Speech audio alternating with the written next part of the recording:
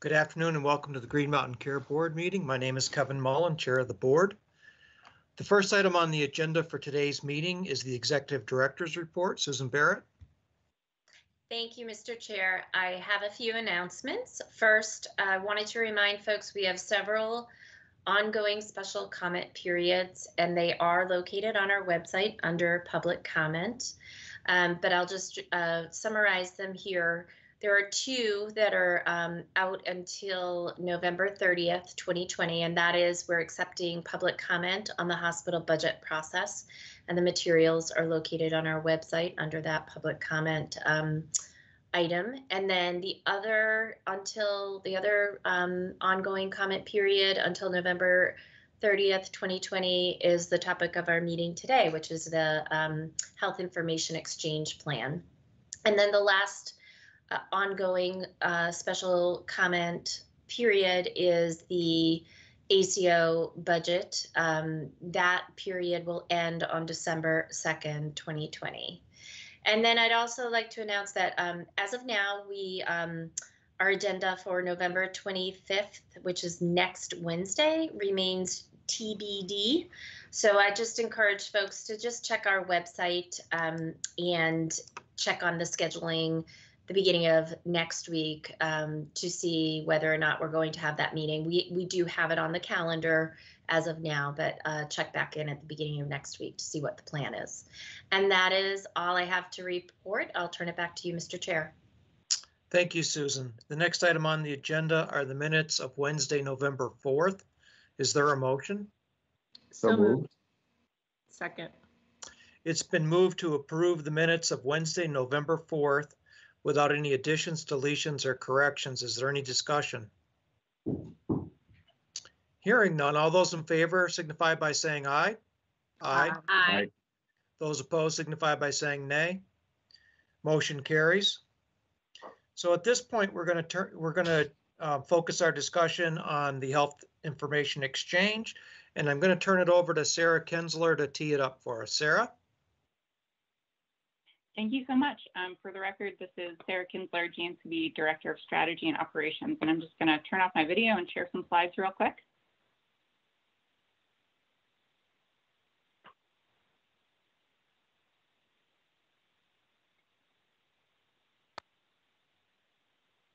Can folks see those slides? We can. So I'm just going to do a very quick introduction today to cover our statutory authority and then hand it over to DVHA and VITL to present the plan itself and the connectivity criteria. Um, and then I will come back to present the staff review of the 2020 update to the HIE plan and the 2021 VHI connectivity criteria afterward. So today we will be talking about two responsibilities that the board has related to um, health information technology and health information exchange. Um, first, reviewing the state HIT plan, which is now known as the HIE plan more commonly. Um, the board's authority is focused on whether or not the plan will support achieving the principles of healthcare reform laid out in Act 48. Um, and in addition, uh, the HIE plan statute in section 9351 outlines a variety of features the HIE plan must address or include. Um, the plan is still referred to as the HIT plan in statute, so sometimes you'll, you'll hear me use that title instead. Um, as noted here, DVHA is required to revise the HIE plan annually with a comprehensive update every five years. Um, the current plan was approved in 2018 with an annual update approved in 2019, and today we have the 2020 update before us. Secondly, the board is required to review the connectivity criteria for providers connecting to the VHI. Um, VITL is required to present that criteria for approval annually before March 1st. Um, but since 2018, we've been reviewing the criteria for the coming year uh, in conjunction with the board's HIE plan review, since the connectivity criteria are really about how we operationalize HIE planning and the connections to meet the HIE plan goals. Um, the board also reviews and approves VITL's budget annually in the spring, which I have not included on a slide since it's not on the agenda today.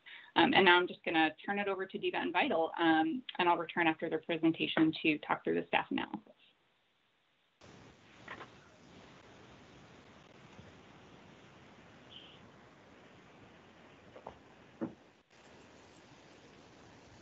Hello, can you hear me okay? We can. Hi, I'm Emily Richards. I'm the director of the Health Information Exchange program at DVHA. Um, so I'm going to share the presentation with you. If you just give me one moment here. I think.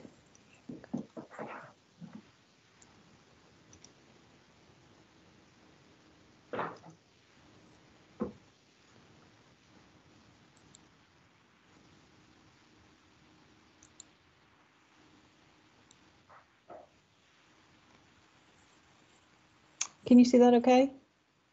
Yes. Okay, great. Um, so Sarah, Sarah mentioned this is the 2020 update, the plan that was approved in um, 2018. Um, this is the plan that's called for under Title 18, um, and so I'll be running through the components of it today. Um, so as I said, I'm Emily Richards. I'm the director of the Health Information Exchange Program at um, AHS. Uh, Sandy Hoffman was supposed to join me today. She's a newly appointed deputy commissioner, but unfortunately she's not able to join us.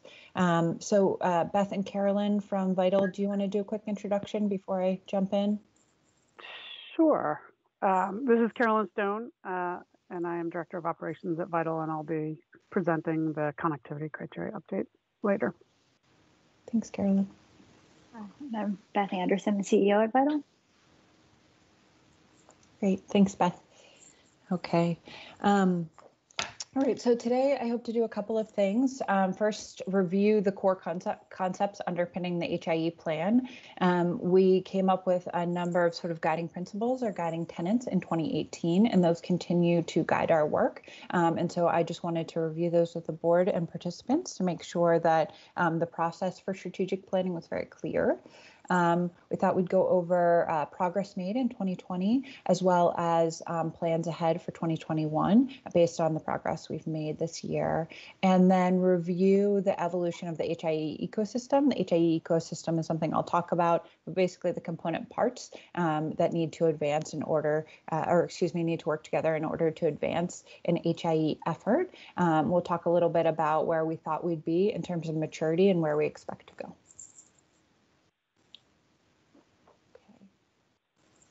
Um, and uh, I've been having a little bit of a microphone challenge, so if you're having any trouble hearing me, please just let me know. Coming through clearly now. Okay, great. Thanks so much.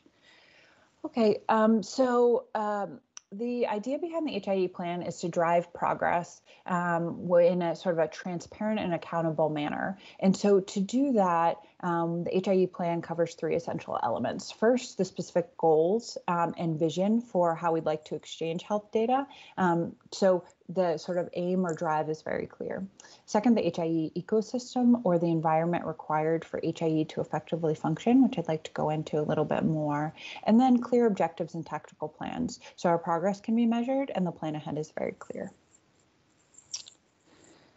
So in 2017, when the when the steering committee um, initially joined, um, they spent some time pulling together use cases or sort of stories that articulate how um, folks might use health data to improve their work. Um, so this goes from providers to analysts to policymakers.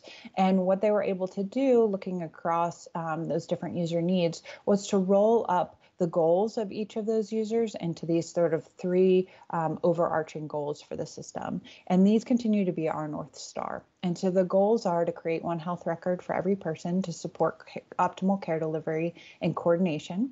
Um, so this, we're working to ensure uh, a complete and accurate, what we call longitudinal health record for every person who uh, seeks care in Vermont. The second is to improve healthcare operations, enriching care operations through data collection and analysis. So that can be to support quality improvement, reporting, and direct care. And to use data to enable investment and policy decisions. So an overarching look at how we bolster the health system's function, uh, eh, functions, excuse me, and ability to learn by providing um, accurate and comprehensive data. So the next core concept here that sort of underpins the strategic planning work that we do um, is is this combination of things. Here's the, here on the left, you see the HIE ecosystem, this sort of triangle diagram, um, and what we think this does is it represents sort of the dependent parts that have to work together to advance an HIE effort. What this means is that you need formalized governance, um, financing to ensure that there are appropriate resources to maintain your systems and advance your systems, and the appropriate policy and processes to facilitate um, the type of data collection and exchange you're trying to do. And all all of that underpins the technology. Um, what we wrote in 2018 in the initial HIE plan is that a focus on technology is myopic, meaning that um, it's, uh, it's sort of um, uh, a single focus um, without a, a, look for what the dependencies would be in order to ensure that that technology is appropriately used and leveraged and funded. Um, and so that's how we think about the HIE eco ecosystem. And so when the, the steering committee embarks on um, both developing and uh, overseeing the execution of the strategic plan, they're thinking about how all of these component parts work together to advance our work. What you see on the right here is the technology portion of that blown out. Um, and so how we think about technology is really inspired by um, something from the Office of the National Coordinator, which is the federal uh, entity designated with strategic planning for health information exchange nationwide. Um, and what they say is that HIE um, systems are kind of built in this modular, modular way. I often use the metaphor of a house, that you build the foundation first and then think about the walls and the windows, which is this sort of middle section here that we're calling exchange services. And then you can pick the paint color and, you know, do you have a smart oven or not, um, you know, where where you're going to hang the drapes. And so um, when we think about foundational and exchange services, we're looking at that's where we look at where uh, public investment would be focused. And end user services are um, only able to occur um, once those foundational and exchange services are in place. So kind of all of these component parts are our guiding principles for strategic planning. So going on to next. Okay, so one really important piece of governance um, in Vermont is the HIE Steering Committee, who, who I keep referring to. Um, they were joined together in 2017, really in response to a statewide evaluation that talked about our fractured governance um, and how that had impacted our progress on health information exchange uh, efforts um, in, in the recent past. So um, in 2017, that group got together, and 2018 presented you with an HIE plan. And in uh, the Vermont legislature gave them authority under Title 18 to work with DVHA to develop and oversee the strategic plan for the state. So this group is intentionally kept small um, to support um, agile and quick strategic planning. As you know, year over year, we're updating the plan while we are overseeing execution. Um, and they're guided by subcommittees who are formed um, as group of groups of technical experts um, to provide uh, the, these uh, group of this group of people um, with the technical or uh, planning insights they may need um, on specific topics. And the steering committee is also committed to leveraging groups that already exist. Um, so we're not, um, you know, uh, sort of bombarding the limited group of uh, folks who may be interested in this in Vermont um, with you know more groups to participate in, rather leveraging um, the tables that they're already seated at.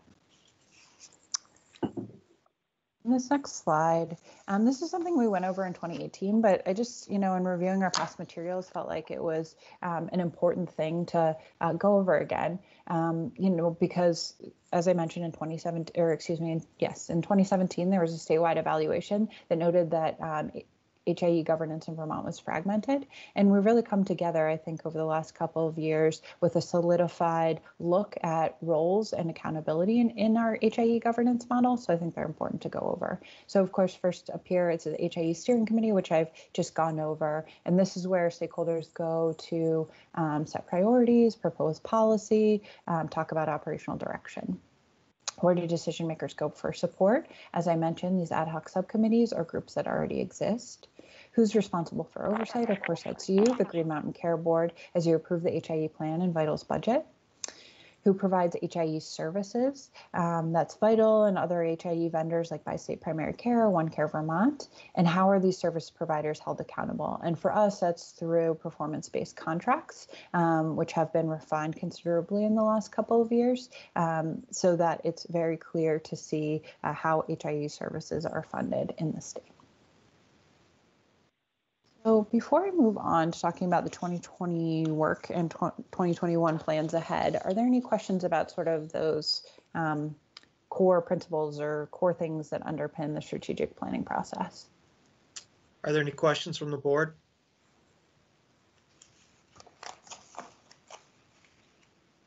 I don't hear any, Emily. Okay, great. I'll keep going. Thank you. Okay, so let's jump into 2020 progress and our 2021 plans ahead. So I'm going to start with the Collaborative Services Project, and I think you're familiar with this, but just as a reminder, this was kind of our cornerstone effort over the last couple of years to bolster the Vermont Health Information Exchange or the VHI to meet a broad range of end user needs um, with, you know, the core mission of the HIE, which is to be a central aggregator of health data. Um, so this kicked off in 2019, and we gained, commitment from a number of stakeholders um, who were funded separately um, to sort of build wraparound services um, because of, of um, uh, I guess, perceived need um, in the ecosystem. And so um, they've all joined uh, together as a collective to agree to um, this investment in the foundational services offered by the HIE. Um, so what we're hoping to do is invest in one system as an efficient way to obtain valuable usable data to meet all of those goals that we talked about up front. So the project's managed in phases. Um, phase one um, and phase two are well underway, and we'll talk about uh, plans for phases three and four. So phase one, um, you know, we just talked about uh, the sort of the foundational services. So this is an investment in in um, solidifying the master patient index, terminology services, and integration engine at the Health Information Exchange. And so um, when I think of these in non-technical terms, this is how the HIE matches records across systems. So different doctors sending, doc, different doctor offices sending records, matching our records into one for each person, terminology services taking many ways to say one thing, or yeah, many ways to say one thing, like many ways to say blood pressure, and translating it into one term or syntax that works for um, whoever's using the data, and an integration engine, which means um, collecting the data and sending it to the right place. Um, so all of these updates are live and they're proving to enhance the HIE services. Um, so uh, as an example here, we're seeing great results in match rates. Um, so match rates for reference population went from approximately 65% to over 95% after um, they implemented the new technology. So phase two is well underway. This is a new data repository. So the idea um, beyond just sort of real-time exchange of data is to collect that data for different uses. Um, policy uh, uh, and legislative analysis, namely. Um, and so uh, a group called the Collaborative Services Subcommittee helped VITL um, select a new data repository by understanding what unique um, user needs would be for this data repository, and they ended up selecting um, a technology from a group called Medicasoft. This platform is expected to be live in April 2021 with enhancements thereafter. And one of the, I think, um, sort of demonstrations uh, that this this concept is working is that um, the Department of Vermont Health Access was able to retire an old piece of technology used by the Blueprint for Health, a clinical repository, um, because we'll now be able to leverage this platform for data extracts um, beginning in 2021.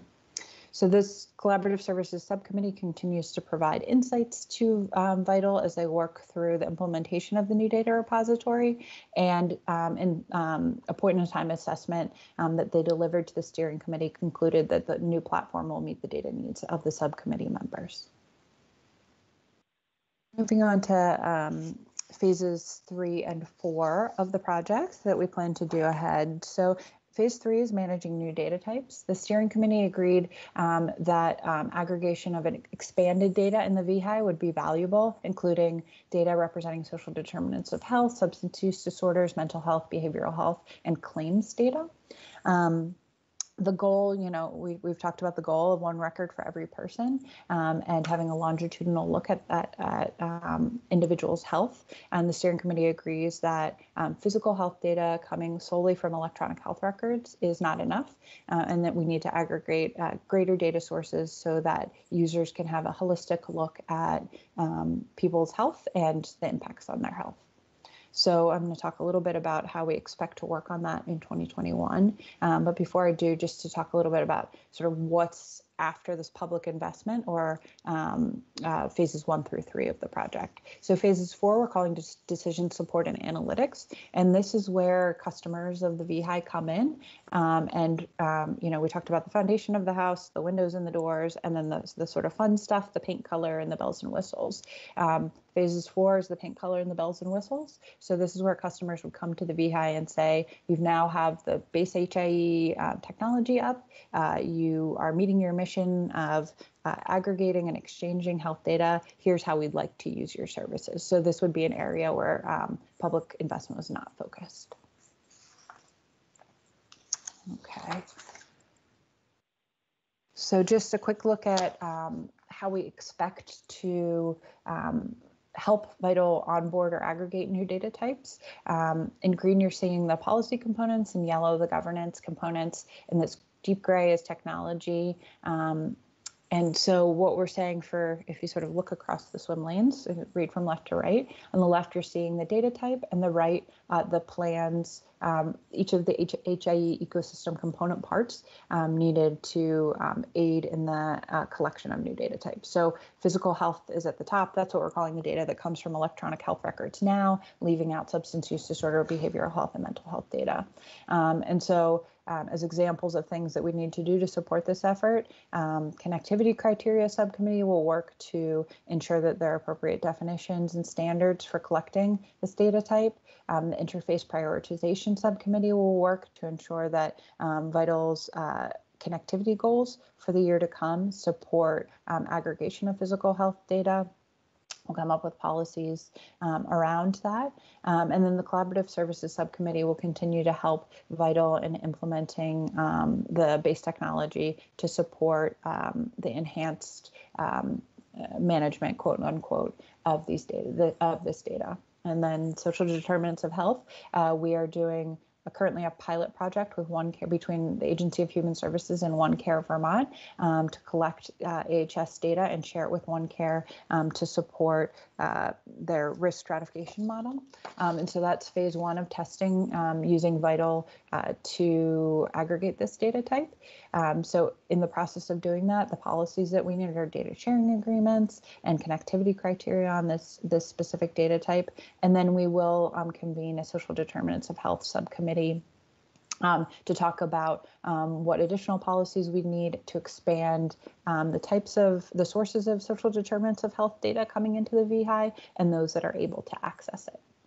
Um, going down to substance use disorder, behavioral health, and mental health. Um, we had a, a, a, pilot project this year as well for this data type. Um, uh, the state legislator legislature uh, decided to fund uh, the purchase of electronic health record systems for a number of the DAs, and in that asked um, them to work with VITL and the steering committee to ensure interoperability. So uh, the connectivity criteria is enhanced, um, has been enhanced this year um, to include um, substance use disorder and mental health uh, data types, um, we are looking at uh, potentially proposing a policy update um, to the protocols for access to data on the VHI to allow um, for additional uh, data of this sort um, to be aggregated by the VHI. There'll be a stakeholder informed process to do so. Um, and so this is kind of the pilot for this uh, year and next. Um, and then similarly, we'll convene a subcommittee to look at what it would mean to aggregate these data types beyond designated agencies. And then finally, for claims, um, the steering committee since 2018 has um, posited that uh, integration of clinical and claims data would further uh, the goals set forth in the plan. And so here we are embarking on um, a pilot to design what it would mean to um, aggregate claims at the VHI with a focus on Medicaid claims data first. Okay. So that was a lot. Should I stop for questions or keep going? Does anybody have any questions? This is Robin. I have a couple questions. Go ahead. Um, hi, Emily. I hope you're well. Um, starting with the what you just ended with around the claims data, um, I'm wondering, and this may be a premature question, but I want to get it out there so you can be thinking about it. Um, what is the interaction between what would be happening in the VHI and VCures? Because obviously we're already collecting claims data, so are we going to be collecting it twice? How is that going to work? Yeah. Um, oh, I'm sorry. Where, did you have one more? Yeah, well, my other sort of related to that is, um, so if, if the data is collected from the payers, then you have to worry about ERISA preemption. So I'm assuming that there will be somebody working on that aspect of it.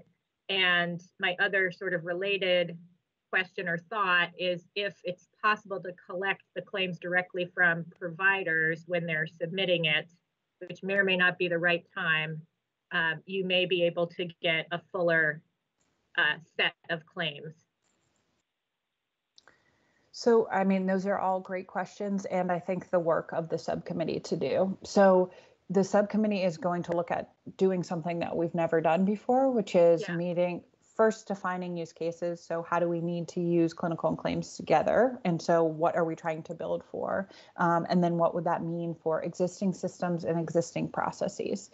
So, one thing that the steering committee has just had determined early on, and really that was fed by the 2017 evaluation is that there are inefficiencies in the system. So I wouldn't want to say that there is not going to be a look at potential overlap between VHI and VCures because that could be something that comes up in the subcommittee. But the idea would be for us to come out with a pilot design um, so that users can really look at what the system implementation approach would be, um, including what policies we need, um, where where data would lie, you know, to answer all of the questions. And I think one thing particularly that the Green Mountain Care Board staff brought up is um, it will be important to do it with with Medicaid data, but Medicaid data is unique in a lot of ways. So we're likely going to have to do this design work, excuse me, with commercial claims as well.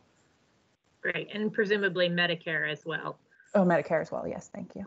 Okay, great. Um, and then related to the social determinants of health data, I happened to be on the Blueprint Executive Committee call this morning, and they were talking about the Women's Health Initiative and, and how the practices that they're working with are collecting some social determinants of health data. So I was curious to know if um, the Blueprint is involved in in the work or that you guys are connecting so that we're really getting figuring out the right places to be pulling uh, data that's already being collected. It's a great question. So there is a blueprint representative on the steering committee, um, and of course Steva chairs it. But we can always all do a better job of, you know, being coordinated. Um, so women's health is um, a data type that we've specifically called out as something that needs to be looked at, um, and I, I will put this on my radar. But I think sort of similarly to the claims subcommittee, a lot of work to be done ahead on social determinants of health, particularly on social determinants of health in some ways will be the most challenging because we Yeah. do not have a lot of federal and state laws guiding us. That makes sense. Thank you. Those were my my questions. Thanks. Other questions from the board? Not hearing any, Emily, so I guess proceed. Okay. Okay, so let's talk about COVID, COVID response, and we're as we're all sitting in our home offices. Um, so, uh, you know, as you can imagine, nationwide, there's been um, there have traditionally been data sharing challenges between public health um, and sort of the broader healthcare community. So that's not new to um, HIE. So uh, what is new new in this situation is um, how clear it has become that health information exchanges are, can be really um, essential to the public health response. So by that I mean that HIEs exist um, to create efficiencies and connectivity. So for um, from data source to the HIE creating one pipeline of data as opposed to a public health entity having to create their own pipelines of data and then the HIE um, creating those pipelines um, separately with, the existence of HIEs and really the purpose of HIEs is to gather data from multiple sources into one central spot. Um, HIEs offer uh, just enhanced data quality because it is their business um, to translate different data, data types for different users. And so that is a model of practice that they already have in existence. Um, they obviously offer the record matching service that we were talking about the our HIE in Vermont has just enhanced, um, but this again is a core function of an HIE uh, to match records across systems um, and not necessarily a core function of a public health entity. So it's a service that an HIE can offer. Um, it also acts as a, I'm describing a central access point to, to clinical data, meaning that um, as their core function is to bring clinical data from electronic health records into one place. Um, so just sort of to paint the picture, nationwide, we've dealt with uh, sort of a discrepancy in how public health data is managed and, and the existence of HIE, HIEs um, can help um, with uh, some of sort of the siloed or fractured nature of public health data collection. So in Vermont specifically, in early eight, April, the Secretary of AHS um, issued a directive for VITL to provide access to patient data um, on the VHI to AHS, um, to VDH um, specifically, to, to support the, the COVID response effort um, throughout uh, the duration of the governor's declared state of emergency. So a number of things have happened in April um, to to support this effort. And um, if you don't mind, I'll go over it at a high level. But I think any questions should probably be directed to Beth and Carolyn of VITL um, because this work is evolving so quickly. But I guess just sort of to say this this is a long list of things that they've been um, working on since April. But I would summarize their actions as um, working with um, the Department of Health, the Agency of uh, Digital Services, and AHS at large to automate state and federal reporting, both for uh, the Department of Health and for hospitals. Um, they've also been helping with those daily reports that we see um, on COVID response. They've um, aided VDH in doing the contact tracing um, work so that uh, staff don't have to reach out to providers um, who are already burdened to gain um, necessary details to do contact tracing. And that same data has helped with syndromic modeling. Um, they've um, provided data to support care coordination work and um, they've acted as the central aggregator for test results, um, which supports the Department of Health in tracking um, those test results and also for providers who are able to log into the system to see patients who have been tested. So there's a lot of information here. So I'm just going to stop for a moment in case there are specific questions about the response effort that's underway. Are there questions from the board? Uh, yeah, I have one. I, I saw in a um, um, you know, uh, uh, the Joint Fiscal Committee recently met and um, awarded, you know, recognizing what you have up on the screen now, $931,000 to DVHA. And I'm just wondering of if any of that flows through to VITL. Yes, all that all of that um, is intended to um, cover work that DVHA has already paid for under the contract or is ongoing through the remainder of the year. Um, so yes, the COVID response fund um, was funding request was approved, um, and I think as you stated, which just basically recognizes the importance of VITL's work in aiding the COVID response effort. In 2021, we've built into our contract um, uh, monies to continue the COVID response effort. Um, so if there was not COVID response funding available um, going forward, that work can be accounted for under the contract. Well, thank you for that. I, I know when I was talking to Sarah earlier in the week about this, uh, it's just uh, amazing that those reports that some of us kind of are taking interest in every single day, you know, are coming off the VITL and uh, the HIE platform. And it's just, uh, and that it happened so fast. So congratulations to all of you on that. Beth or Carolyn, did you want to add anything there? I think you covered it perfectly. Thank you.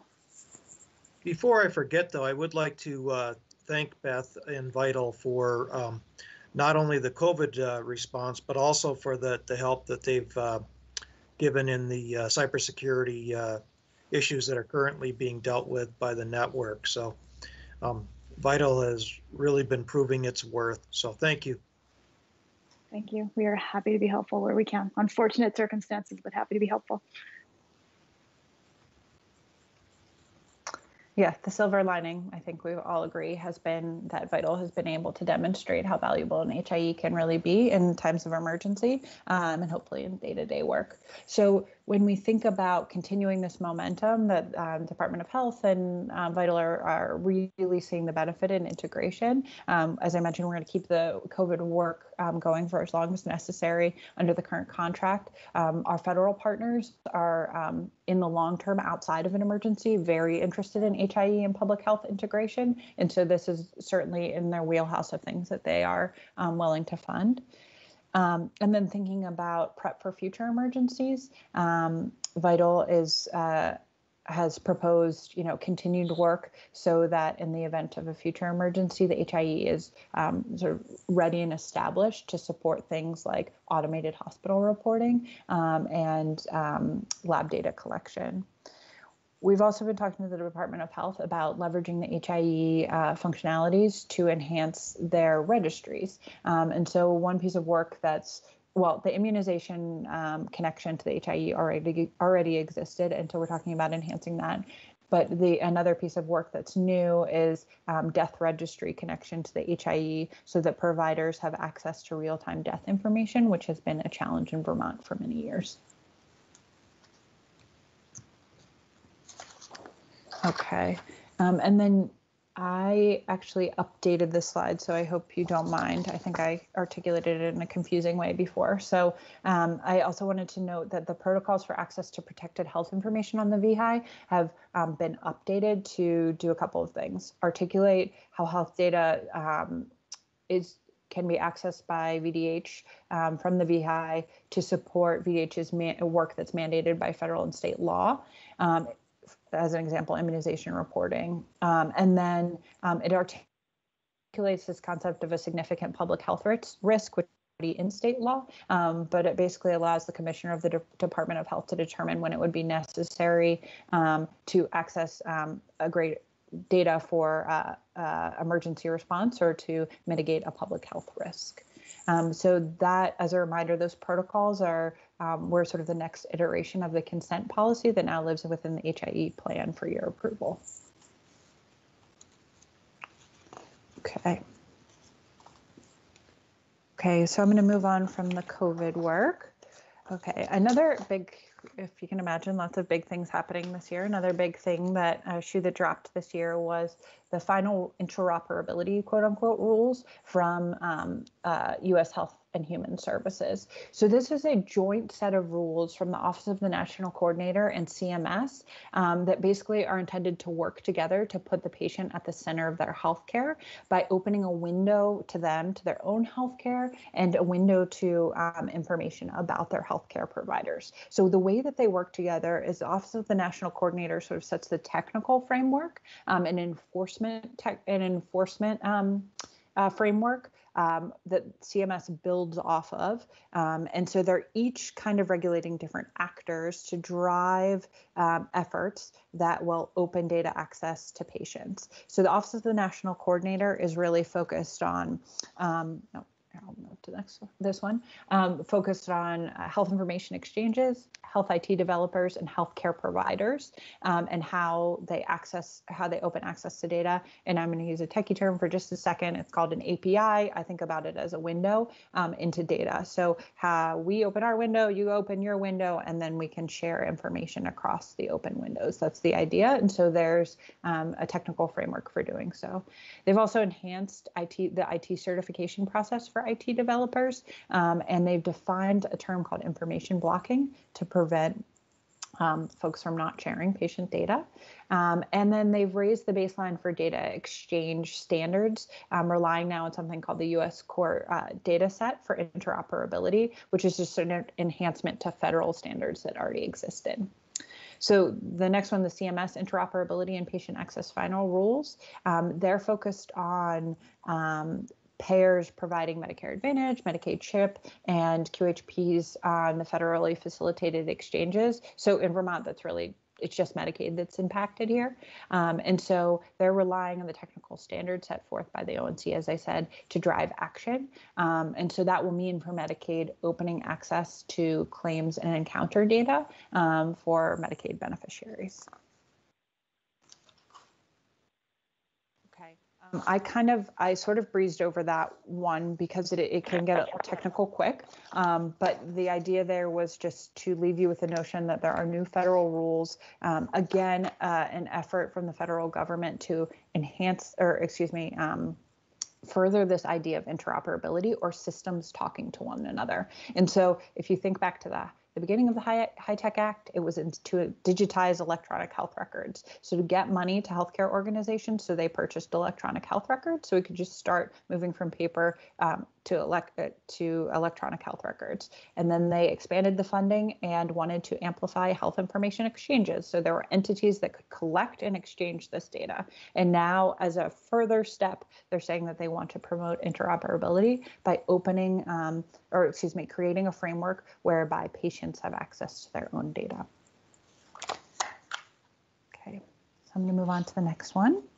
Okay, so in 2020, the, um, or I should say in 2019, the uh, steering committee set forth a lot of work um, to go forward into 2020, and a lot of work hap- has happened this year, despite all of the the myriad challenges that have come up in our health system. So the first is the Collaborative Services Subcommittee that we talked about a little bit. Those are the group of people who helped to VITL procure a data repository, define what the, their use cases were, and assess for the steering committee. Um, how they think the pro- collaborative services project is going to further the goals set forth in the HIE plan. Um, and so they're going to continue, or I guess I, that is on the next slide, so I won't preempt myself. So in um, the 2020, the connectivity criteria subcommittee got together. They updated the connectivity criteria, which Carolyn will present, and then they expanded the focus to support connectivity with designated agencies. And as I mentioned, that's sort of a pilot program for how VITL will manage substance use disorder, mental health, and behavioral health data. Um, the interface prioritization subcommittee came up with a matrix to help um, us uh, uh, support VITL in annually selecting connectivity prior- priorities. And by connectivity priorities, I mean um, which how resources will be funded to connect healthcare organizations to the HIE. Uh, this consent subcommittee continued their work in evaluating the rollout of the um, shift in the consent policy. Um, and uh, there is uh, an assessment of this work, although we're expecting uh, major findings from the patient engagement survey, which will be um, available later this month. And then finally, the Part 2 Plus group, which is a group that VITL's leading, um, is uh, an effort to pull together stakeholders to de develop an informed um, policy and uh, processes at VITL for managing substance use disorder data and other sensitive data types. Um, this work um, will be largely impacted by um, the rollout of the CARES Act, um, but VITL has begun um, by really uh, designing a really robust stakeholder engagement process um, to be ready for that. So looking ahead for these groups in 2021, the Collaborative Services Subcommittee is going to aid VITL in developing a long, longer term technical roadmap. So thinking about the future phases of collaborative services, how will the HIE platform be used um, to, uh, to meet the needs of Vermont's customers? The connectivity criteria subcommittee will continue to update the criteria, considering changes to federal law, considering changes in Vermont's needs, um, and then update that criteria depending on how far we get with um, updated, uh, or excuse me, new data types. So, for example, expanding to include social determinants of health. The interface prioritization subcommittee will develop annual connectivity pri priorities. They'll be working on that um, in the early part of 2021 new population health subcommittee um, will be looking to advise um, VITL and other health data producers and aggregate, aggregators on needed um, data sets to augment research and population health management efforts. Um, so it hasn't felt like we've really had a table um, of advisors to sit down and talk about how um, that, that data repository uh, or excuse me, how uh, upcoming research or population health management needs um, so that VITL and other health data producers can prepare. Um, and in 2021, we're going to focus that group on social determinants of health. Um, the part two group will continue, as I mentioned, and really their work ahead is going to be um, impact, but impacted by the uh, CARES Act and um, uh, yeah, so the, we expect that uh, depending on how uh, the final rules for the um, CARES Act come out, um, that we may be coming back midterm um, with an update to uh, the protocols for data access um, on the VHI uh, if if it does look like we're able to advance with the aggregation of sensitive data types this year. Um, the outcomes-based certification subcommittee is also a new group. Uh, CMS has offered us a new opportunity to certify the HIE, which is uh, which opens the door to maintenance funding of the HIE, which has never been before been available to us.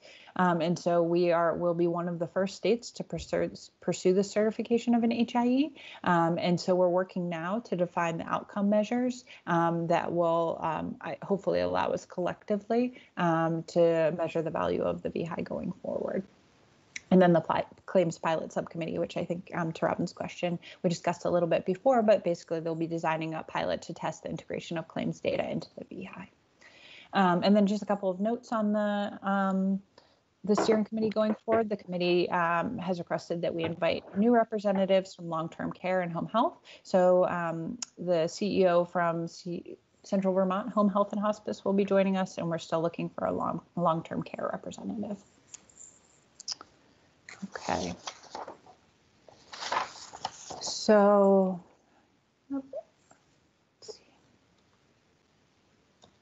I threw this up there one more time just to kind of reiterate sort of all the subcommittee work that we're doing for the year ahead, but I think we've gone over it. Okay. And then I'm putting this one up one more time because I just wanted to spend a moment talking about DVHA and VITL's contract for um, calendar year 21. Um, we have are still in negotiations, so I can't tell you the details, but I wanted to um, uh, go over one, I think, important point, which is that um, since we've created this concept, the and you know we talked about accountability and clarity and transparency. VITL's contracts with DVHA um, have mirrored this these concepts that we have in the HIE plan, including investments in tier one and tier two of this um, sort of stack of HIE capabilities that we talk about. So another way to look at it is on the left, you're seeing that same stack. Um, it's just now in a pyramid.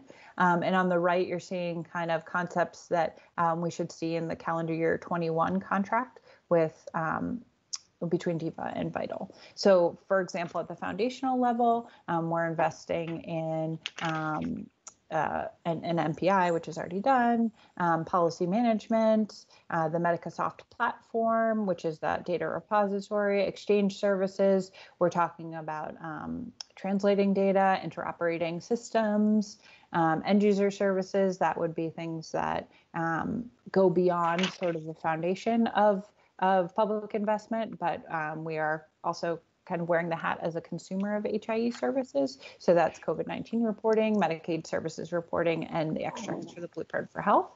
And then at the top here, um, there are some end user services that we will be funding, and that is to ensure that um, the HIE uh, meets the uh, new interoperability rules and um, can uh, provide access to patients as directed by federal law. Um, and then it's to ensure that we're ready to certify the HIE system so that we can gain federal investment to the, maintain the system in the long term. So hopefully that makes sense. Okay, I'm going to shift gears and go over to the HIE ecosystem parts unless there are questions.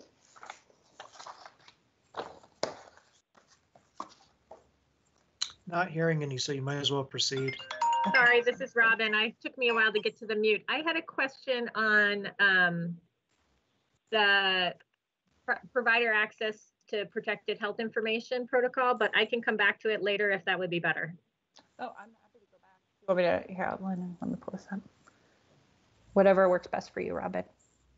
Um, well, I'll throw it out there because I um, my questions you probably are going to need to take back to general counsel or VDH so let me just get them out there. And if it would be helpful for me to work with Sarah to email them so that they're clear for the translation, just let me know. Okay. Um, thank you for your, the slide I thought was clear. In the actual um, oh, policy document, I found the drafting of section five, the public health access to be a little bit confusing um, because there's a paragraph B and a paragraph D and I would read them as interacting, but that's not clear from the document. So I think with some minor modifications that could be clarified. Um, so that would be one thing that I would be looking for before we vote on it. Um, and then I also have some questions about the definition of public health authorities in terms of how broad or narrow that is. Um, it clearly to me would include VDH, um, their county level officers and uh, the CDC, but I'm not sure if it's intended to be broader than that. So that was the other clarification that I was hoping to, to get. Okay, you are right. I feel like I will need to take those back, but thank you. I think I got them, but um, if if writing them down is possible, that would be great too. Absolutely. Um, and, okay, awesome. Yeah, absolutely. Thank you. No, thank you. I appreciate it. It's been a really great collaboration between board staff and Department of Health and DVHA in trying to get these protocols in the right place. So thank you very much for everybody's work so far and thanks for the work ahead. Okay. So um, the final thing I'm hoping to do before I turn it over to VITL to talk about the connectivity criteria is just to revisit these H- HIE ecosystem component parts. Um, because in the original 2018 plan, we talked about sort of maturity models for each. And so I wanted to revisit where we think we are and where we think we're going. Um, so um, as Robin just um, asked a question about, um, you know, we've uh, we are introducing updates to the protocols um, for access uh, to data on the VHI. And what um, I've sort of circled here is this statewide consent management. So what we basically have in these protocols uh, is a unified consent management process that articulates um, how we uh, govern um, the physical health data or the data, the clinical data coming directly from electronic health records without sort of that clinically sensitive data included. Um, and so uh, what we think is the evolution is that um, sort of all of the organizations that comprise the network are building aligned processes. So we think that there we will continue to evolve these protocols and continue to update um, HIE plan to reflect that evolution. And so we think likely the next up um, topic to be considered would be clinically sensitive data. Again, waiting for those federal rules to come down. Um, but um, if uh, what's expected is that uh, there'll be greater alignment between HIPAA and Part 2. We will be able to articulate um, how we are uh, manifesting that new data collection through the VHI in Vermont. So looking at finance, um, a couple of things to note here, I think which we've been talking about for a couple of years. First, the, the U.S. HITECH Act funding, um, which was really stimulus funding, um, which we've been using since 2011. It, it um, expires at the end of next year, September 2021. Um, and so this means that um, a lot of the development dollars that we've used to uh, amplify the HIE, to build out the public health systems, um, and to incentivize the adoption of electronic health records um, are going away. Um, what CMS says, though, as you can tell from the interoperability rules, is their investment in this work is not done, but it is changing. Um, and so they are shifting from something that was um, basically a stimulus fund to um, more traditional Medicaid enterprise systems funding, which with comes with different rules um, about who can benefit from the funding and how costs are allocated. Um, they're also offering, as I mentioned, this outcomes-based certification process, which opens a new door for us to obtain maintenance funds. Uh, right now, um, uh, a great portion of the state's HIT fund is used to maintain the HIE, and so um, opening the door to more federal investment would would just allow more dollars for development work. Um, I'm noting here that the steering committee supports an extension of the HIT fund. The HIT fund is that small claims tax on private funds that's been used to propel this work for a number of years. Uh, the HIT fund generally um, sunsets every year, and the legislature reviews the HIE work um, and uh, suggests that it, it continues. Um, last two years ago. It was extended for two years, um, considering the progress being made by the state and VITL. Um, and so we go before the legislature again this coming session um, to hopefully get that HIT fund extended. Um, without those resources, it would be a real challenge to continue this work. Um, and finally, just a note that the Collaborative Services Project ex is expected to position the VHI to provide demand-driven services. So again, in sort of that phase four of the project, um, it, you know, opening the door to customers um, to work directly with VITL um, on leveraging the HIE services that would benefit them. On the governance part of the HIE ecosystem, I just thought it was important to note um, we have a new section in or a new um, narrative in this year about data governance, um, and we were calling out specifically a couple of things. One, that VITL does not own health data; rather, it acts as, as the steward of health data that originates from various sources. Um, and so, because that's true, we need a comprehensive way to govern the way that um, data is made available, accessed, how systems um, interchange the data, how that data access is audited, the quality of the data, and the security of the data.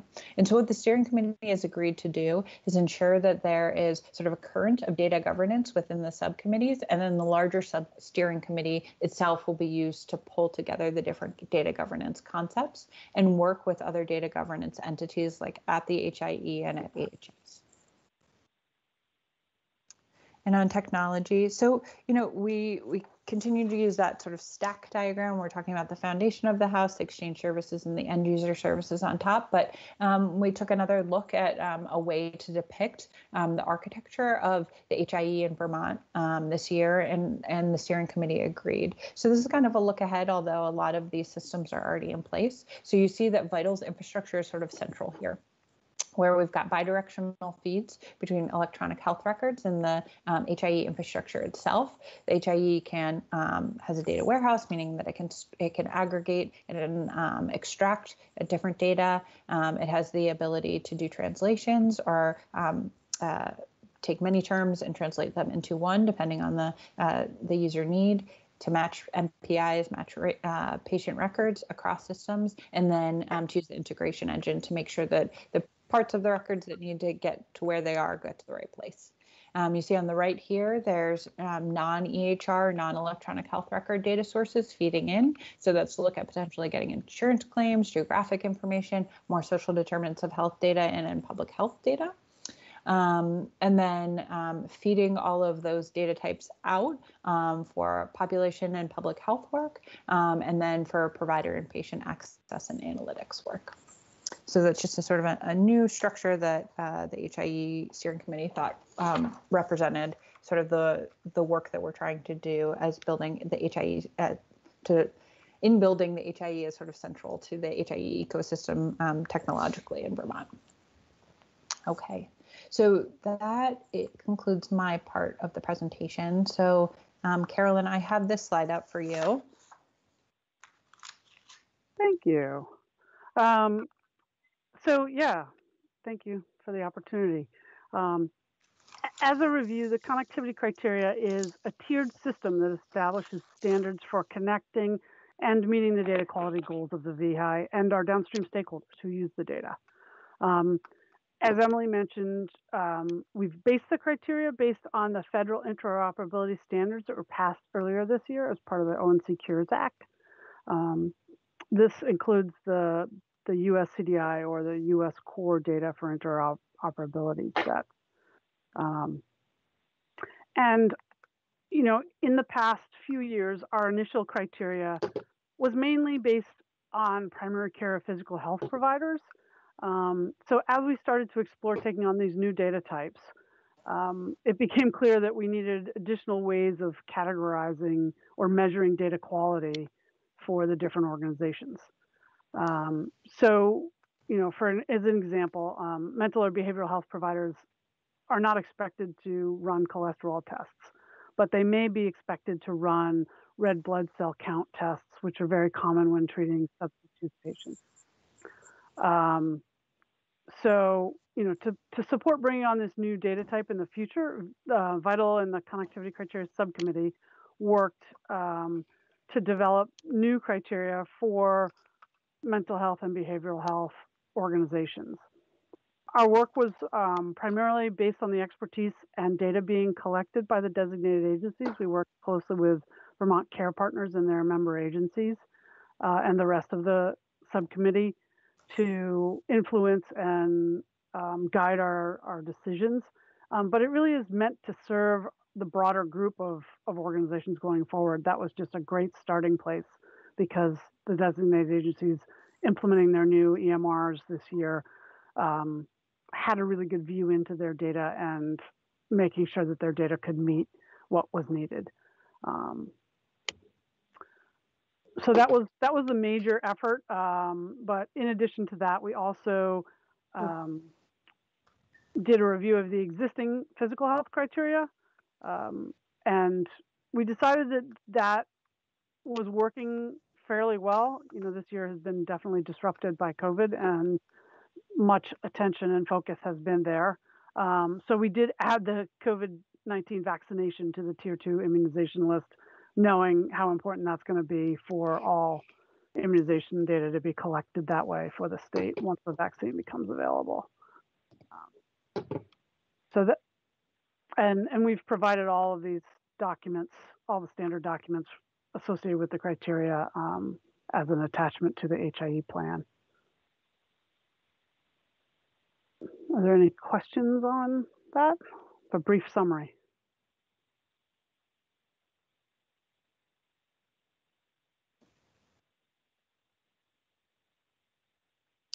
Will it make any difference um, if the vaccines were made available free or not on your ability with the data?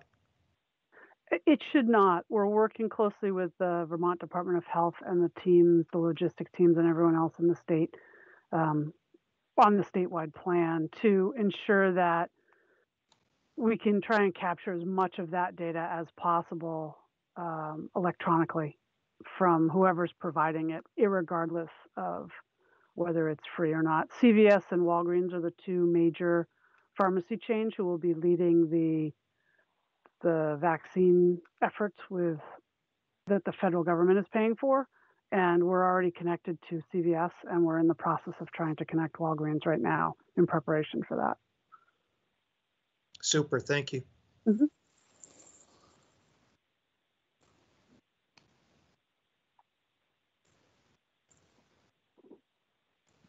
I'll just ask a quick question. I'm just wondering if the recent cyber attack has changed people's willingness to consent to having their records, um, you know, accessible. Has it changed any of the opt-in, opt-out data or discussions? Um, I think in some ways it depends on who you're talking to. If you're talking to providers who would like to be able to see their own data, then um, they're very much in favor of sharing data with us at this point because they've seen the value of it. If you're talking about patients, um, I would have to check to see whether the numbers did go up, the number of opt out or the number of conversations that we got, you know, asked about would have We, to go. we, we haven't seen a large, we haven't seen a change that would indicate there was um, a big shift. Um, Right. at least initial looks. Yeah. And, You know, if you don't mind me adding one thing, this is the hard part about consent is, you know, data is aggregated in electronic health records. So the VHI is just collecting it for exchange. And so that, I mean, and I know you know that, of course. Um, and I, I see where your question is coming from, of course. It just, you know, that data is clearly out there. And so the existence of the HIE doesn't change that. In fact, it Yeah. helps, I guess. Right, that's what I was thinking, actually. I was thinking there may be more interest in either submitting the data and or having patients knowing that their data is back, you know, is, well, it's already up there, but having their providers be able to access it in the event of a, you know, cyber Yeah. event. So I just was I- I- wondering if it changed people's mindsets on either side, consumers or providers. Such a good We- question. We've, we've definitely heard stories of a number of patients who went to their providers in the past couple of weeks or past two weeks and heard that they were now using the VITL tools as their source of data. So Yeah. Uh, maybe just a quick other question. Um, how much do you think, and maybe this is a question for Emily, um, how much do you think that the anticipated maintenance funding that we might be able to draw down from the federal government through this outcomes-based certification, how much will that offset the funding that has been coming through from the HITECH Act that's going to expire? Like how much, you know, what percentage of it will be maintained if in the event that that funding through the new stream is available to Vermont? Um, I wish that I had a straightforward answer to your question. What we're going to be doing over the next couple of months is proposing a new cost allocation methodology to CMS um, because basically um, HITECH allowed us to um, uh, take the benefit to um, based on the number of providers serving Medicaid beneficiaries, and what the new funding stream is focused uh, on is patients. And so, obviously, the ratio of Medicaid patients to the total is much smaller than the number of providers serving Medicaid um, patients in Vermont, and so that's going to be something that we struggle with. Um, but we are um, feeling optimistic at this point because of CMS's intention to keep this work moving forward. And um, in a lot of ways, we are going to be interacting with a new part of CMS that has never managed this type of work. So it's going to be a lot of going back and forth on what may work for this for this work in this tiny state. Um, so developing a new public funding model, I'd say, is the top of my priority list for the beginning part of 2021, and there are a lot of component parts. I hope that soon we'll have more answers. Well, good luck with that. It's important. I appreciate your work. Sure. Yeah, I just had one question on, when you looked at the deliverables that you had laid out for 2021, and um, first, thank you for the presentation, it was very thorough. Um, what risk do you see in meeting all of those deliverables, if any? And, you know, either, either from um, Emily or Beth, whoever wants to chime in. Beth, I'm happy to start. Do- Um, Please do. Oh, Okay. um, I would say that the state and VITL share a goal um, to not overextend our- ourselves and to continue this work going forward. Um, it's very important to meet expectations considering um, where we were just a couple of years ago and the really positive momentum that we have going forward. Um, and so I think that's our commitment. And so all of the conversations that we have about what's possible um, um, consider what's what currently needs to be finished. Beth, I don't know if you want to put more color on that. Yeah, I think I would. Thank you. I mean, I think you're completely right. I think the, the one thing I would point to, and, and you you heard this a little bit from us. I think in was it September that we presented um, our quarterly update update. You know, we are a little behind on the medic the implementation of the new platform for next year. We have a new plan. We, you know, we've kind of re-estimated based upon what we've learned about the platform and the technology. Also, our estimates of how much of our time will be focused on COVID work, right, which we didn't have on our plan, surprisingly, this year. Um, and I think we have a good a good plan to achieve all of these deliverables for next year. Great, thanks.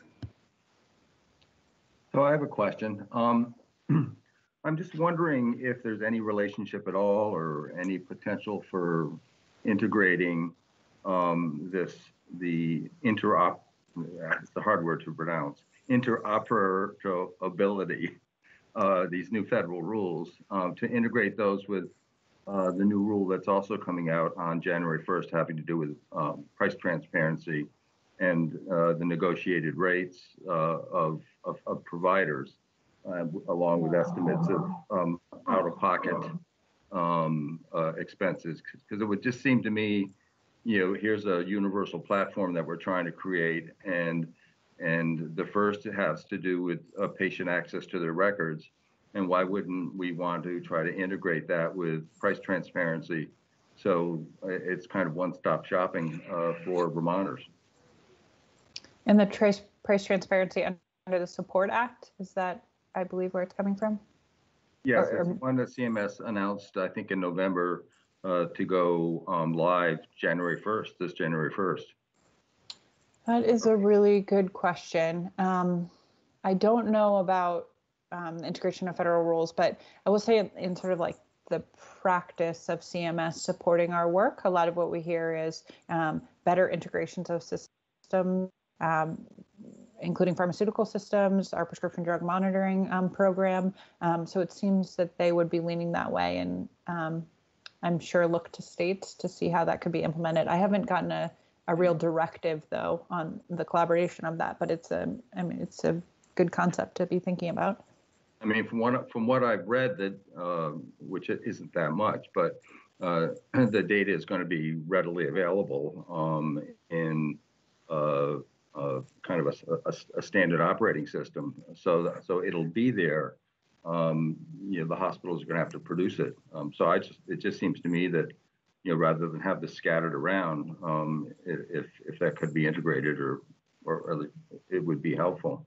Another. Yeah, you uh, know, one thing that might come up is, so what um, payers and HIEs and others are being asked to do is, I like, sort of I keep using this analogy of a window. It's called an API, opening the window to data, but they're not being asked to do like the actual, you know, application on your cell phone. So not you get to choose what app you use to get that data out of the window. Um, mhm. so it will be interesting to see if application developers think of the same idea that you're thinking of, which is like, let's just create apps where we get, um, we provide access to all of the available data that might, that a patient might need, including Yeah. price transparency. Yeah.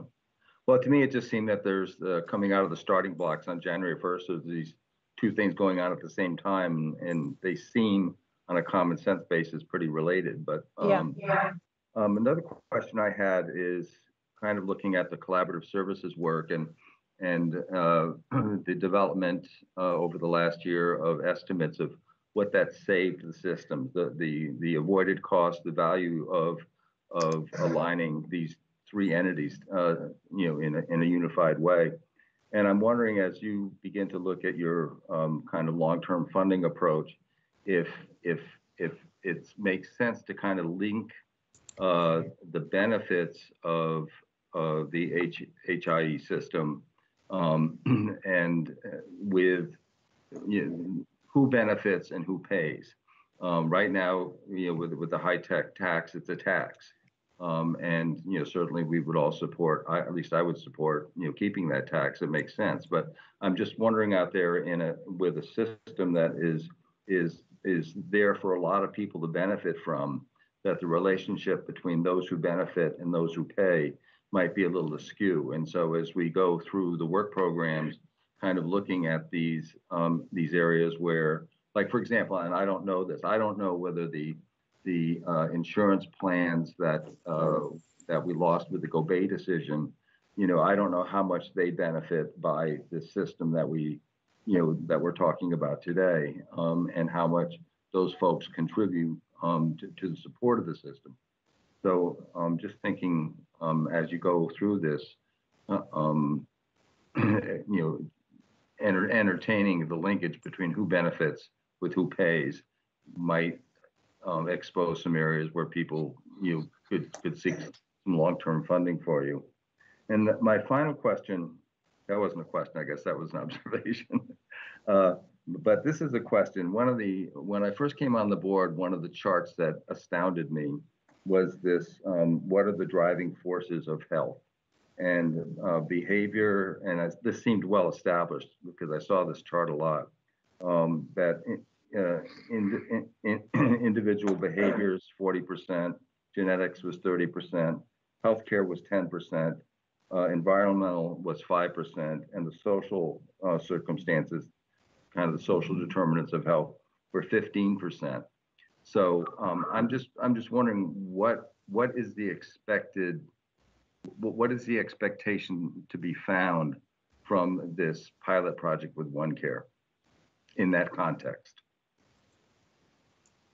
Yeah, I mean, I'm on the side of things where we're providing data for um, the risk stratification work and the implementation that OneCare is doing. So probably better for um, others at AHS or OneCare to answer um, that question. But I will say sort of a related thing, which is I think um, many people in the healthcare industry, including payers, are really interested in, you know, addressing each of those component parts um, to shift the needle in a positive way. And so we've gotten a lot of interest um, in the social determinant of health work because of that, the committee, um, to define the policies and the protocols for making sure that that data is available no matter what the effort is to to address the facets of people's lives that impact their health and well-being.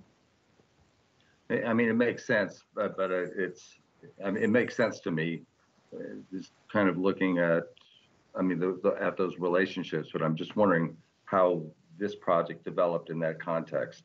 Um, but so that that's my questions and observations. I, I think you've come a long way in the last two years. It's been uh, the energy is palpable, and uh, you know to see uh, um, you know the ability to kind of step into the shoes in, in this COVID 19 crisis and be an instrumental um, force in terms of uh, informing the public and contract uh, trace, uh, tracing folks is uh, is just a gift, and thank you all for it.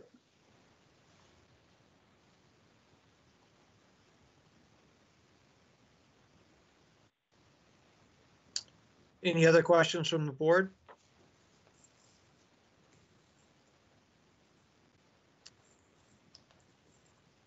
Are you finished with the, your presentation, Emily, completely?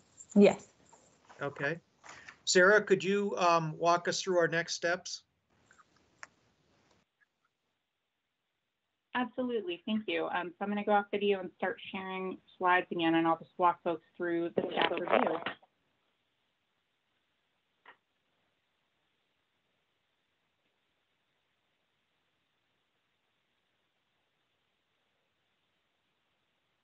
I'm having a little trouble sharing slides, but maybe that. Emily So I needs think um. Emily's still sharing um, something on the screen. So maybe if she could exit the screen, there we go. Can you do it now, Sarah? Thanks, Emily.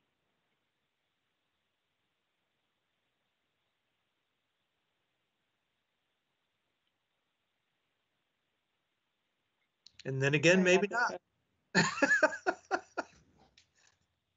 Let me give it one more try.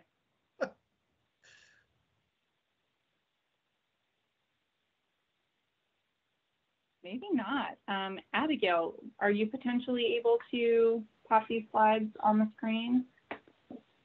Yeah, I just have to pull them up. Give me a second. Sure.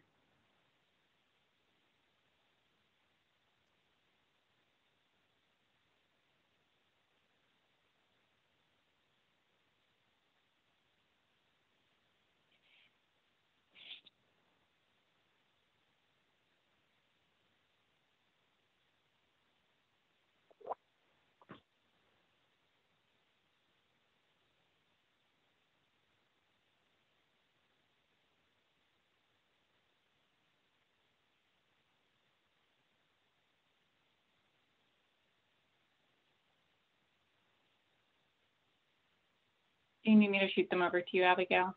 Sorry about this, folks. Are they showing up now? Yes, Yes, they are. Thank you. Just move them over. All right, thanks. Um, Abigail, will you go to slide four? Thank you. Perfect. Okay. So thanks so much to the team from DVHA and VITL um, for that presentation. I'm just going to, as I said, walk us through the principles that we use to review the HIE plan and connectivity criteria, um, and then walk through um, the, the preliminary findings of the staff review. Um, so quick timeline and process reminder. Um, DVHA submitted the plan to the board earlier this month as is required. We're currently in the middle of the special public comment period that Susan mentioned um, in her in her executive director's report. and that public comment period will end on November 30th. Um, today, I'll walk us through the staff review. Following public comment, we'll have a staff recommendation and potential votes on December 2nd for both the HIE plan and connectivity criteria. Um, so a little bit of history on this. In 2018, when we received the the, HI, the version of the HIE plan that um, this is an update to, um, staff pro proposed four principles for review. Um, they can really be summarized as alignment with our statute um, and alignment with the HIE plan statute, um, whether the HIE plan meets the goals of other recent relevant legislation, and whether the HIE plan incorporates national best practices and stakeholder input. Um, Abigail, will you go to slide six?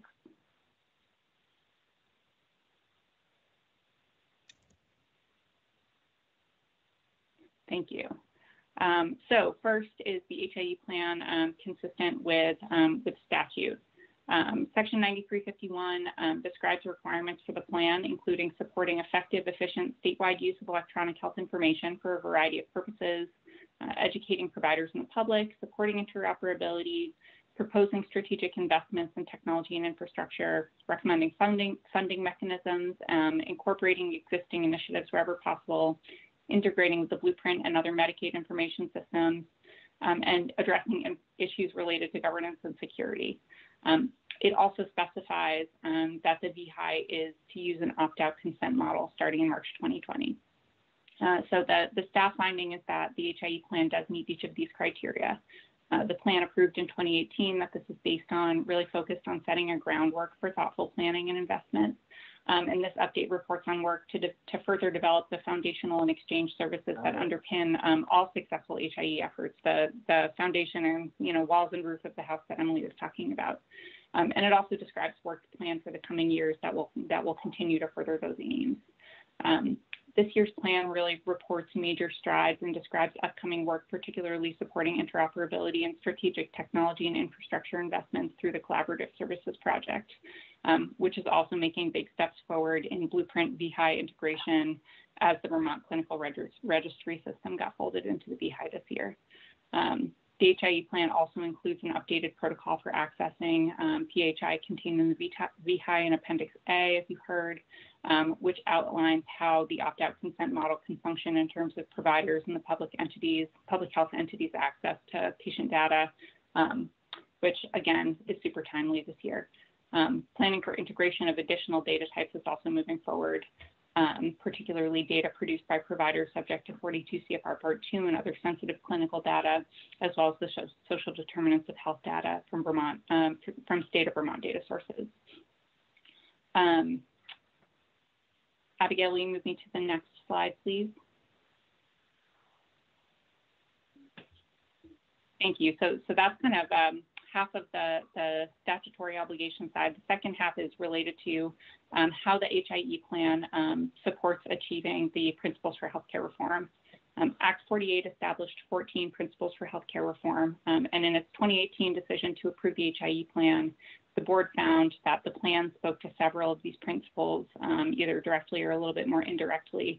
Um, these areas really still remain core to the 2020 update and have not changed. Um, so th those descriptions remain on this slide. But rather than read that to you, I just want to highlight that these principles for healthcare reform, um, I think, are really well aligned with those three HIE system goals that um, Emily described earlier and that are laid out in the HIE plan um, of creating one health record for every person to support clinical care, um, improving healthcare operations such as QI efforts and reporting, uh, and really supporting policymaking and evaluation. Um, I do want to note on the last, um, the last bullet on this slide that stakeholder engagement has changed somewhat from past years and especially due to COVID, um, but that there's a much broader collection of stakeholders engaged um, engaged in the development of the HIE plan and the and the implementation of the HIE plan through those HIE steering committee subcommittees. So that, that's kind of more ongoing now. Um, next slide, please.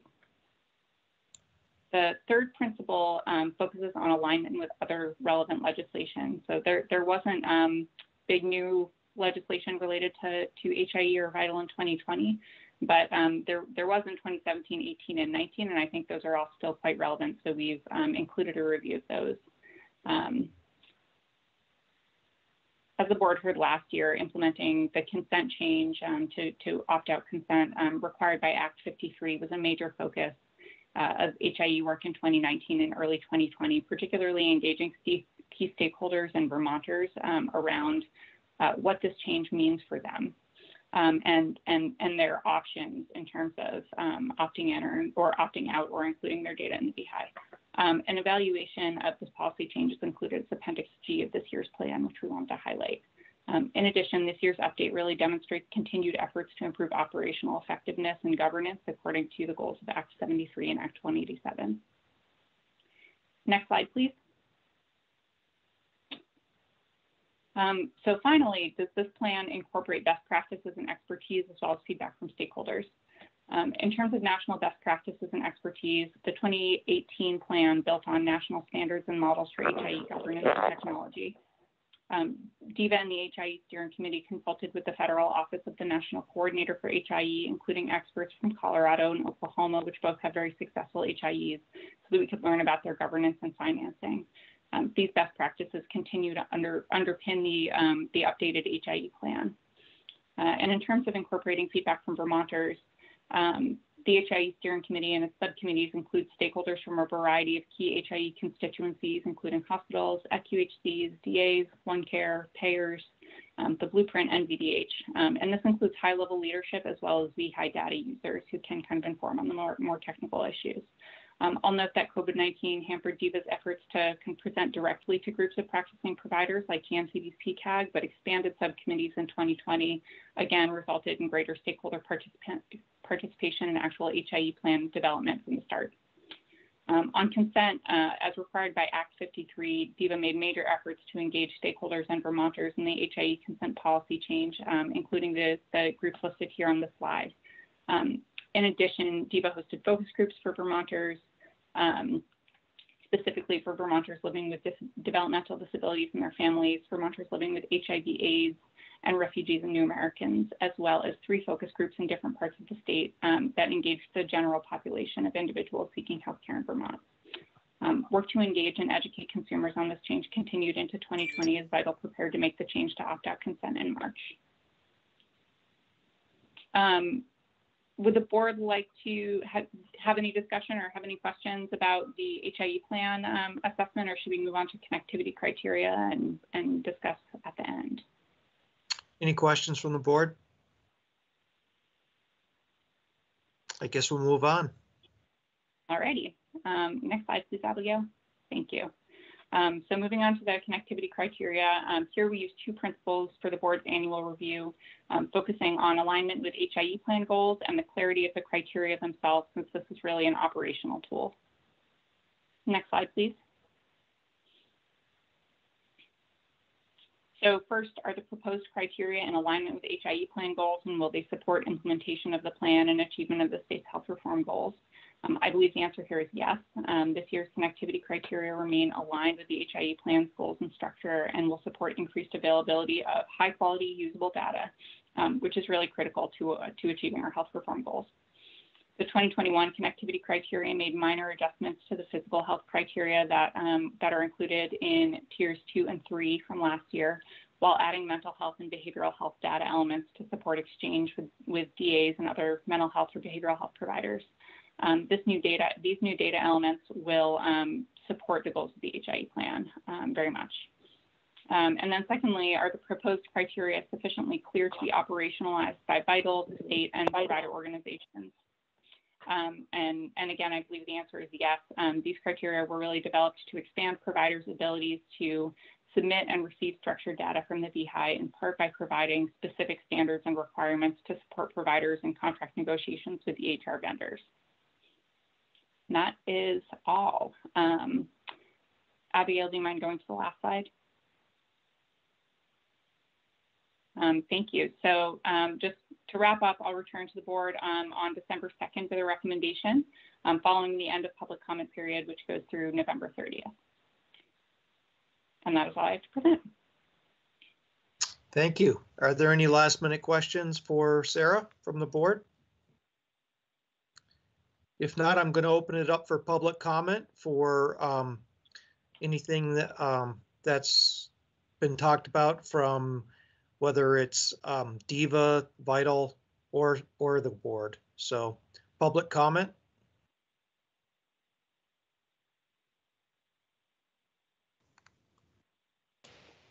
I have a question. Go ahead, Dale. When it comes to the contact tracing, are they able to determine the accuracy of the data itself in terms of even if there has been issues about people answering the questions honestly, or is it simply they're able to tell that flow of um, transmission? It, it seems relevant to me, and I haven't seen anybody really speak on it how well the compliance is in terms of answering contact tracing questions. I might be revealing my age because I can remember the outbreaks in the old days before we had very many vaccines at all for anything and what that looked like. And that was actually a very relevant question back then. You had to answer honestly if you were contacted by a contact tracer.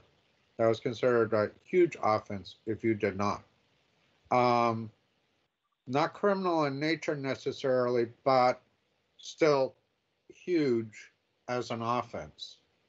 Um, any feedback on that from them? Anyone? So uh, I'll answer. So my understanding of the way that the VITL data is being used in contact tracing is more for using it for finding finding finding contacts. So once someone gives them a person's information, it might help them find an address or a phone number to be able to do the reach out. And I don't believe that they're using our data to actually identify who someone's who an, a positive patient has been in contact with. It's more for finding out how to get in touch with them. So I, I can't answer your question directly. Okay, thank you. Is there any other public comment? Hi, this is Mort Wasserman. I have a question. Go ahead, Mort. So I was struck by the term physical health data um, in the presentation from VITL. And I was wondering if, if a provider lists as a problem so the de facto mental health uh, system for most Vermonters, children and adults, is actually the primary care system. It's not the uh, behavioral health system. So if I, as a provider, put down depression and I put on my medications uh, SSRI or some other medication, is that scrubbed? Or is that considered physical, with air quotes, health data? You know, in terms of the data repository, we don't we don't designate whether something is fits into a category. But as we're working with providers and organizations to onboard them and to try and get as much quality data, we take into account what type of data provider they are. Um, and these, the criteria and the connectivity criteria are just the minimum we're looking for. It's not that we won't accept any data that they can provide on the patient. It's just to say, have they met a minimum data quality standard to participate in some of the downstream programs effectively? Right. So this isn't a data quality comment. This is a data uh, content comment. It sounds like there are plenty of behavioral health data. Uh, and I believe as a provider who is seeing patients, I'd want to know what medications and what diagnoses had uh, been given to a, a patient that I didn't actually know. So it seems like there are plenty of behavioral health data in the current physical, air quotes again, health data, which is reassuring to me. And the behavior, adding behavioral health from the behavioral health providers is only a fraction of mental health and behavioral health problems for Vermont. And so even even a primary care provider has permit, permission permission to uh, treat patients for substance abuse, I would assume her data are also the problem list. Substance abuse disorder might also be in that quote physical data unquote. It could absolutely be. So, you know, the first step in the process is to have the organization that we're looking to onboard go through that criteria and say, what do they even collect in terms of their care that they provide? Because each organization we work with is slightly different. Um, so we find out what they provide, and then we say, okay, you know, if you are, if you have that data, if you are generating those types of data, can we get it into the the electronic submissions to the VHI? Right. And we use the the criteria to really prioritize. If you don't have much of it in there, if you only have 10% in there, we use that list that's in the criteria to prioritize what are the top things that would make the most impact. And tier two would be the first places we would focus. And then we would say, okay, great. You did tier two this year. Let's work on tier two next year because, you know, that's going to be a much bigger lift and your EMR vendor might have some work to do, or you have some workflow processes that you need to re-implement or um, or work on to be able to provide that data in a discrete format. So uh, it's it's really the the baseline by which we can somehow measure data quality. It's not to say that we're going to only accept one type of data or another from an organization, if that makes more sense. Yeah. Thank you. Mm-hmm. Okay, is there other public comment?